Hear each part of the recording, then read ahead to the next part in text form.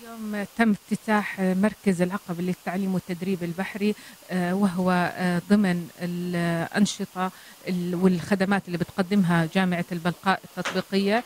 آه، تم اعتماد البرنامج التدريبي مع الهيئة البحرية الأردنية اللي هي مرتبطة مع وزارة النقل وتقوم بالتأكد من تطبيق الاتفاقيات الدولية فيما يتعلق بالتدريب والتعليم البحري. فيه طلب متزايد على توفير كوادر بشرية مؤهلة ومتخصصة للعمل في النقل البحري.